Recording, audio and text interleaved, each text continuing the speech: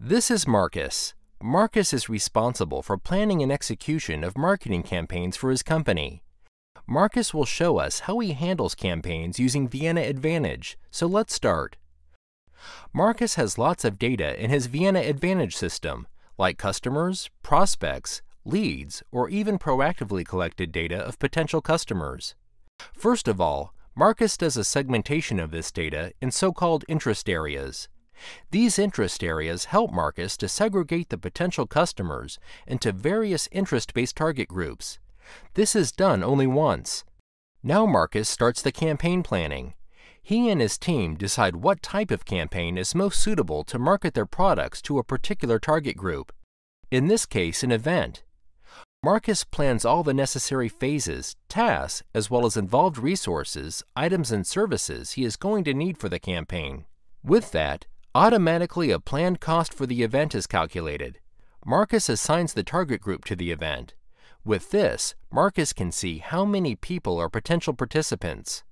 Looking at that, he can estimate how many leads, opportunities, new customers, and revenues his company will be able to drive from this campaign. Once the planning is done, the campaign is sent for approval to his boss, John. John gets the campaign for approval in his workflow inbox. Whether he is in office, at home, or mobile, John can view a planned summary sheet of the planned campaign and decide whether to approve the budget.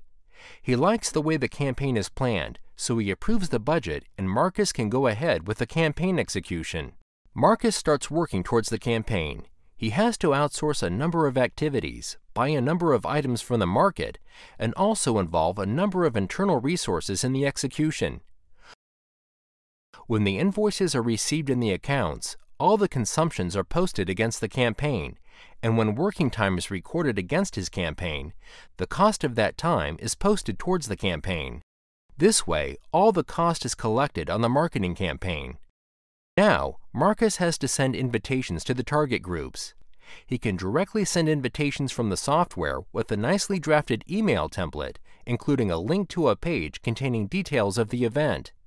The prospective participants can see the details on the event landing page and click to decide whether they are going to attend the event or not. Whenever someone accepts or declines, Marcus can view the number of visitors. Well, after all the preparations, the big day has come. Everything is in place for the event. Lots of people attend the event, and the sales team is happy with the opportunities and sales driven from the campaign. The sales is directly recorded in reference to the campaign so that Marcus can always see the number of leads, opportunities, and actual sales generated from the event and compare it with the cost spent on that campaign. Now, he can proudly present the results to his boss. This way, Marcus can not only plan events, but also email, Google AdWords, or any other type of campaigns using Vienna Advantage.